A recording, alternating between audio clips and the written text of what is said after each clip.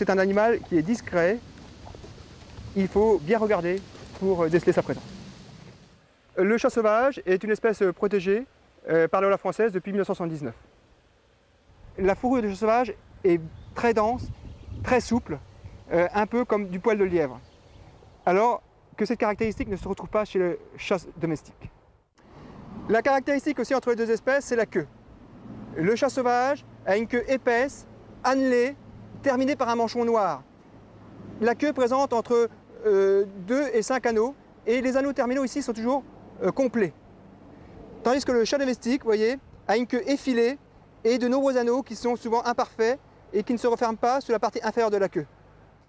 Le chat sauvage, euh, finalement, est souvent décrit comme une espèce qui vit dans les forêts profondes, inaccessibles. En fait, c'est totalement faux.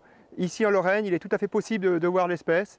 Et il y a deux périodes, en fait, dans notre région où l'espèce est facilement observée, c'est au moment du rut, en janvier-février. Les animaux sont assez mobiles, on les observe. Et puis surtout, euh, à cette époque, ici au mois de juin, euh, lors de la fenaison, on coupe les foins et les animaux euh, peuvent être, dès la fin de l'après-midi, dehors, en train de chasser dans les prairies. Alors ils chassent les animaux qui trouvent refuge sous les ordins de foin, ou les, animaux qui ont été tués par le machinisme agricole.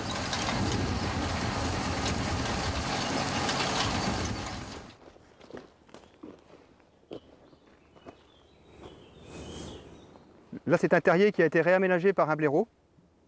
On voit le tas de déblais sorti. On viendrait en hiver ici, euh, on verrait certainement le chat sauvage sur la branche basse. C'est là euh, que l'animal s'allonge euh, toujours au soleil. Quand on détecte la présence d'un chat sauvage dans un terrier, il est tout à fait possible de trouver à proximité l'arbre sur lequel l'animal se chauffe quand il fait beau. Finalement, ces arbres sont occupés de génération en génération. C'est-à-dire que les mêmes arbres sont occupés, la, même fourche. Vous pouvez revenir sur ce terrain d'études qu'on a abandonné depuis un certain nombre d'années. Quand on y revient, eh bien, les mêmes arbres sont encore occupés par les chats sauvages.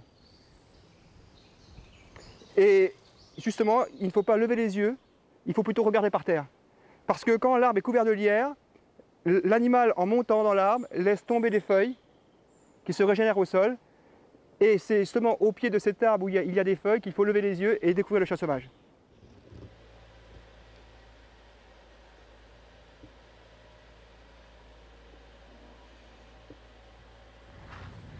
Ah voilà, on arrive.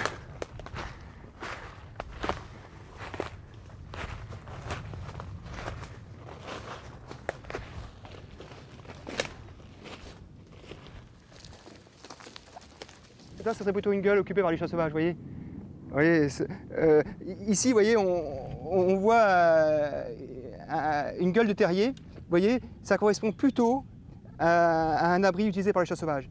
Il va toujours utiliser des, gueules un petit peu à l'extérieur du terrier et comme ça des, cavités qui où on ne peut même pas déceler sa présence. Vous voyez, euh, il n'y a aucun gratis et pourtant je suis sûr que c'est un gîte adéquat pour le chat sauvage. Alors là, on peut imaginer, vous voyez, dans cette dépression qui était un petit fossé euh, en fait, que l'animal saute depuis ici jusque là. Et regardez à cet emplacement, il se réceptionne et on voit bien que l'herbe, pardon, les feuilles euh, disparaissent alors qu'ici elles sont présentes. Si on devait euh, essayer de faire un piège à traces pour lire les empreintes, il faudrait l'installer ici. Mais il y a des chats sauvages euh, un peu plus intelligents qui tentent de passer sous les canalisations des routes. Et là, ce sont des endroits où on observe souvent des traces et des choses très intéressantes. Là donc je confirme bien qu'il s'agit de, traces de chat, des petites traces quand même. Et ici vous avez des traces de renard, aussi très caractéristiques.